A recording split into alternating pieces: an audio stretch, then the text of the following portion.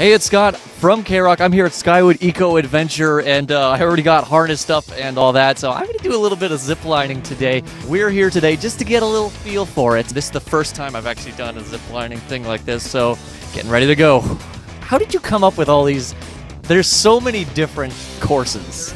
Yeah. Five of them, in fact. And these things are designed as they go. So you get these environmental engineering arborist guys up there in the trees, and they look at two trees that are not similar to the previous two trees and try and come up with the craziest or sometimes the most challenging obstacles that they can create. That's what makes this so unique.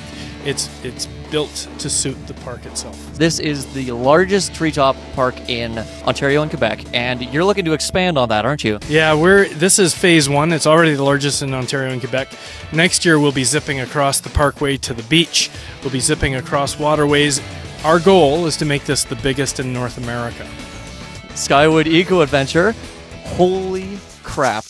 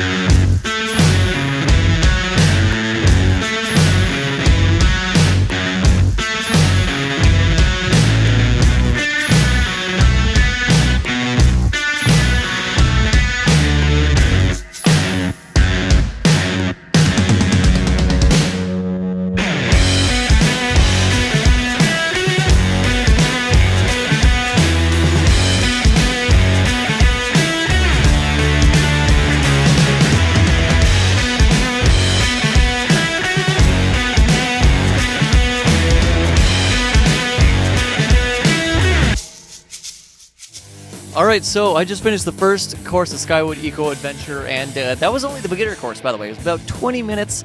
The whole thing takes about three hours. It's fantastic time talking to Darren, seeing all the sights. You saw my athletic abilities, if you can even call them that. All you got to do, Skywood Eco Adventure, check it out. It's a workout, it's fun, it's fantastic.